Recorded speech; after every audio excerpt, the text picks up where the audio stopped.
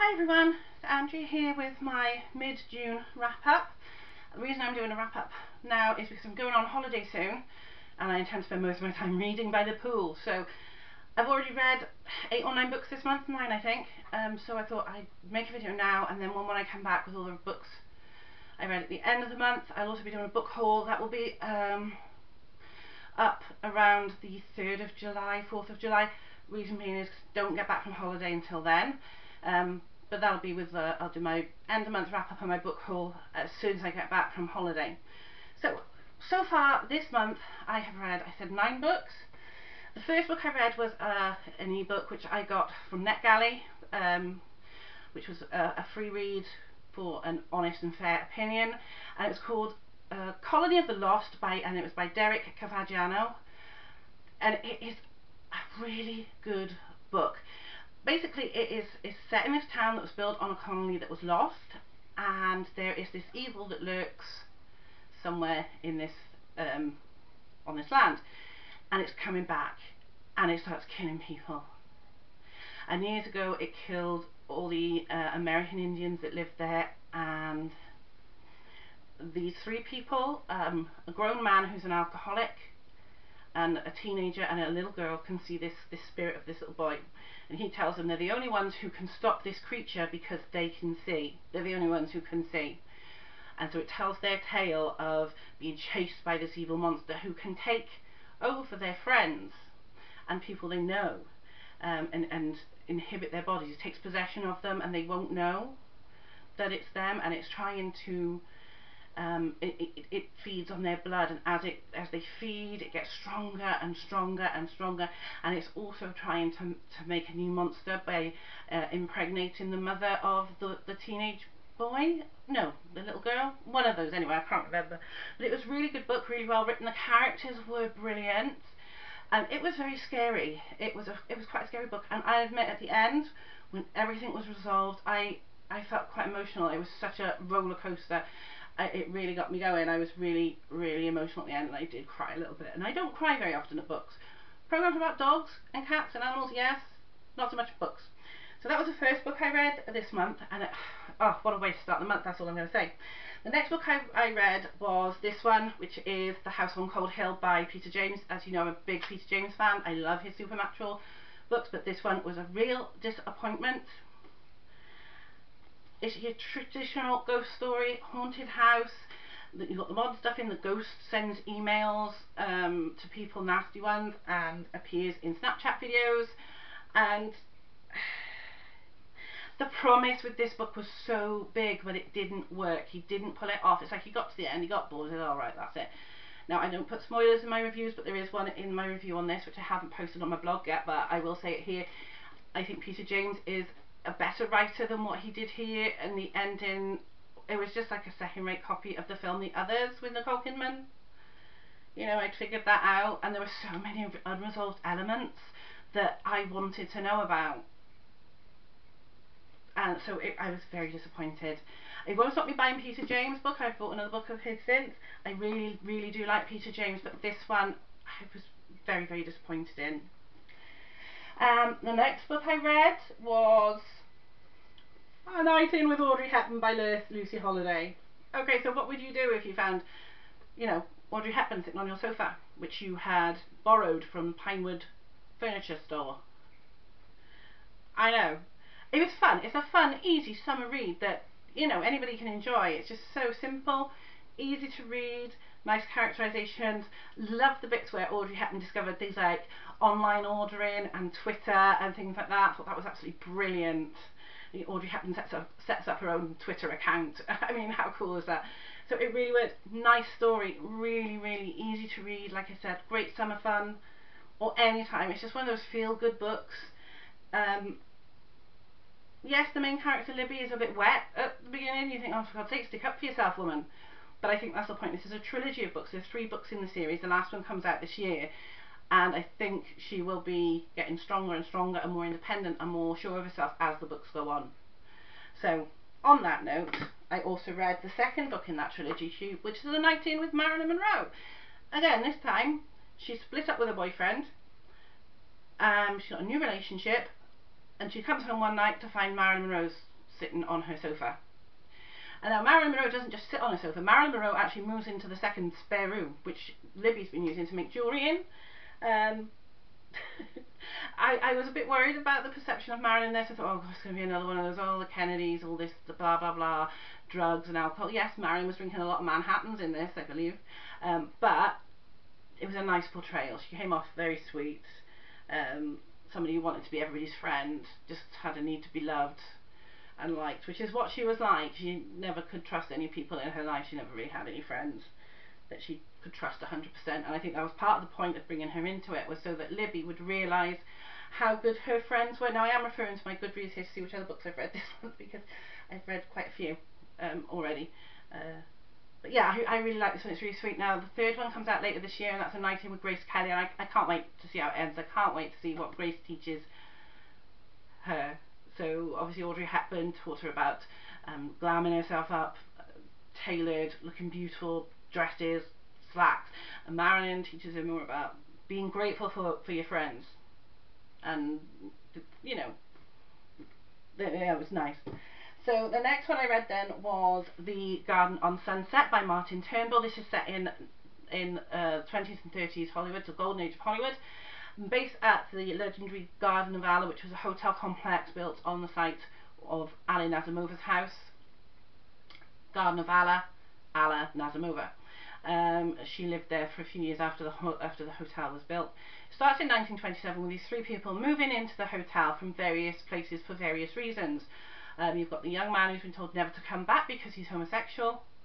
So he comes to Hollywood where he can hopefully be himself. Um, you've got the girl whose mother wants her to be an actress, but she doesn't. She wants to be a, a reporter. And then you've got the girl who, who wants to make it big. And they come together and they meet at the Garden of Allah and they're big, become great friends. And it tells the story um, of their friendship in the first years that they lived there. The Garden of Allah wasn't actually destroyed until 1959 when it was knocked down uh, to make way for a bank. Ugh. So, a nice story. I thought it was a bit slow in parts. I uh, had suddenly, and a lot of books do this, and I, I, maybe it's just because I'm reading them on my phone. Um, I'm not expecting the years to jump, so it's 1927, the next minute it's in the middle of the 1930s. I'm like, whoa, what happened? But it's a nice read. I really enjoyed it. I will be getting the next one in the series, which is um, about the making of Gone with the Wind. So that should be really, really interesting. So I enjoyed that one. Uh, next on the list is a play, and it is Terry Pratchett. Pratchett I can't even say his name. Terry Pratchett's Wyrd Sisters, um, adapted for the stage by D. Stephen Briggs. Now the reason, the reason I've, I've read this this month is because I am going to be in this play in November. I will be playing Nanny Og. Yeah, I know. Um, I will be playing Nanny Og um, at Newport Playgoers uh, Society's version, which is on at the Dolman in, I think it's, it's November the 14th it starts, or something like that.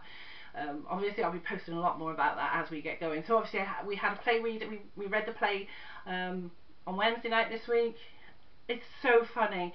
Um, obviously, you can't translate the entire book into a play but it's, it's a very good job and we are going to have a great time doing it. I really can't wait.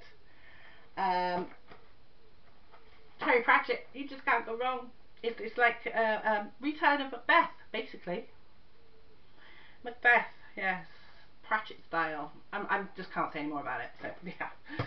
The next book I read is yet another um, ebook. It's by A.D. Davies and it was called The Dead the, the yeah, the dead and the missing.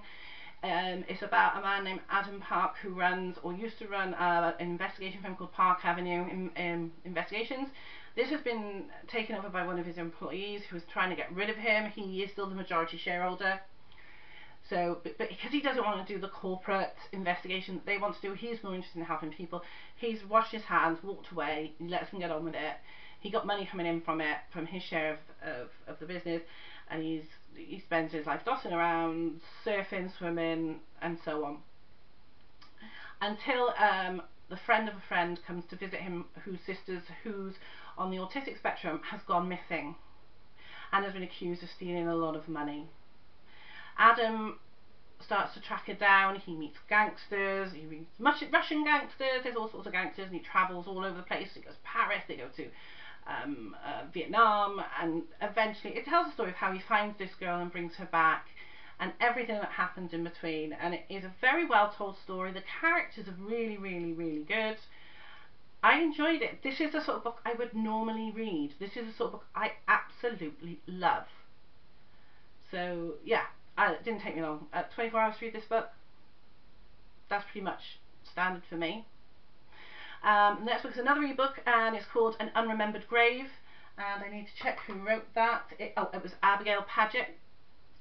Um, this is a story about a vampire who was staked uh, 150 years ago by a slave named Joe. But in this story, you don't. If you stake a vampire, you can't. It doesn't die. It just sleeps. And you need to to kill a vampire properly. You need to cut its head off and burn the head. Um, but the, the guy Joe was ill, so he didn't do it. So 150 years later, uh, building work on the site where the vampire's body was buried is going on, and the grave's uncovered, and the vampire wakes up. But vampires in this story aren't evil. They're not there to kill everybody. They don't want to make everybody into vampires. They are the custodians of our history. So their history runs through their veins. When they drink blood from a person, that person's entire history and genetic history, it, it goes into the vampire and they remember it. They also have these people called adepts, who are, are, what we would today term a witch. So they can see vampires, they know something, they can see things that aren't there, they see ghosts. And he meets an adept who doesn't know that she is one because she, she, was orphaned and or abandoned and brought up by people who didn't know what she was. And it's their story of how they come together, how he learns to live in the modern world, how she comes to terms with being a witch. He never drinks her blood. They did have an agreement that he could drink it if something could, if if he helped her do something and he did but in the end he said no I want you to if you if you give me your blood I want you to give it to me freely I'm not going to take it and, and that's what I liked about this. And the quest he had was to free a, a prisoner from um, our maximum security jail. He was he's basically sentenced there because he's committed murder. Nobody ever comes out. His life's in danger um, but from other prisoners, even though he's done nothing but help these prisoners all all this time in there. He was uh, convicted wrongly, he was innocent, and it's how she goes about proving his innocence. And it is a really, really nicely written story. Abigail Padgett tells a brilliant story. Her characters are lovely, and you've got cats. What's not to like? I hope that there will be another another book with this. I hope it will be there'll be another one in this story because I like the whole idea of vampires not being evil but being the custodians of human history. I think that would be fantastic. And the last book I read, I only got yesterday and I literally finished it this morning um, because it is a book about one of my passions which is Hollywood history and it's the Ruby Slippers for Oz by Rhys Thomas. Now this book came out in 1989, the paperback version.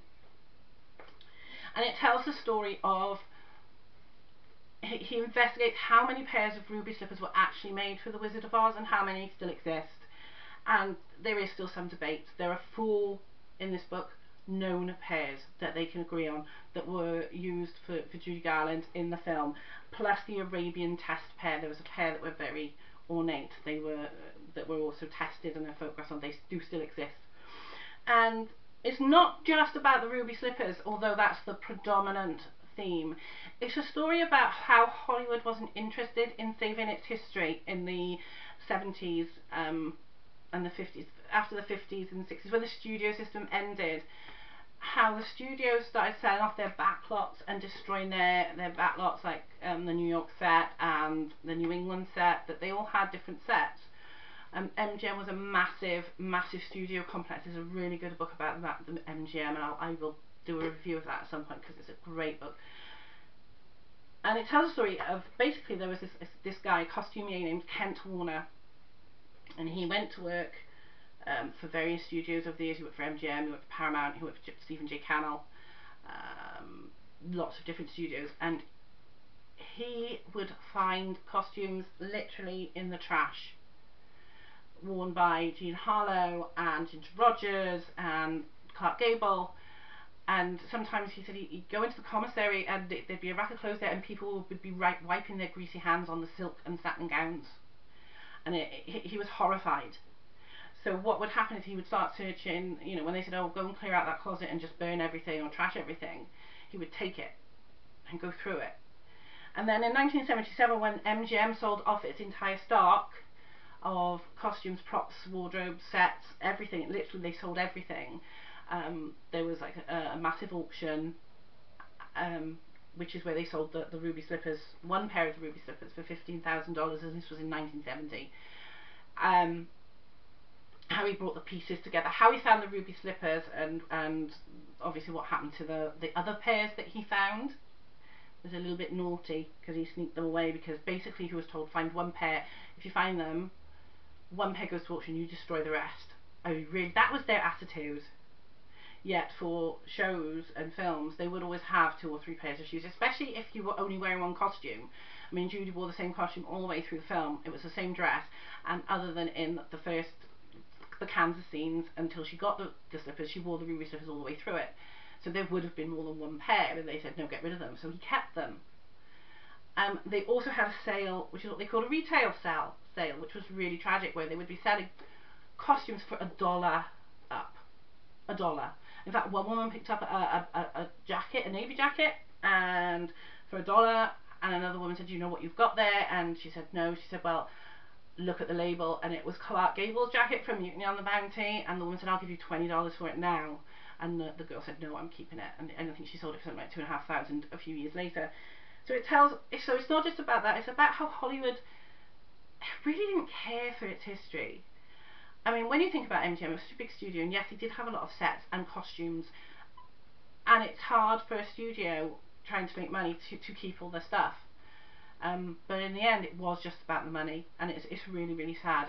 And if it wasn't for people like Kent Warner and Debbie Reynolds and John Bold and the people mentioned in this book, Hollywood memorabilia would not be treated the way it is now. It would not have its value. It's down to them that we have the costumes we have from the golden age of cinema. And we don't have hardly anything. We have a fraction of what was originally made. All of the, um, I think it was RKO Studios where Ginger Rogers and, and Fred Astaire worked, costumes were buried in a, a landfill on when Desilu took over, when Lucille Ball and Desi Arnaz took over the studio and made it Desilu Studios. So there's, you know, that was their attitude to their own history, and today it seems mind-boggling. But then they knocked down the Garden of Allah and built a bank. So there you go. So that was the last book I've, I've finished. Now, I would have read more this month if it wasn't for the fact that I am currently reading A Game of Thrones. And as you can see, I'm, I've got about a third of it left. I'm not, there's not a lot left. So my plan is to finish this before I go on holiday so that it's dealt with, but obviously I'll talk about that in the second part of my June wrap up, which will be when I get back from holiday. So I am enjoying this, I will say that. I mean, 20 years ago, I wouldn't have picked it up when it came out. But I'll talk more about that in my next wrap up. So that is what I've read so far in June. I'm also halfway through uh, Marissa Meyer Cinder as well. So again, hopefully I'll finish that before I go on holiday and it could be my next wrap up. There is, I have learned where we are going in Tenerife, an English bookshop. Yay! And I will be going in there as well. So I'll probably put some photos in my next video. So I'm looking forward to watching all your wrap up videos and I will see you soon. Bye!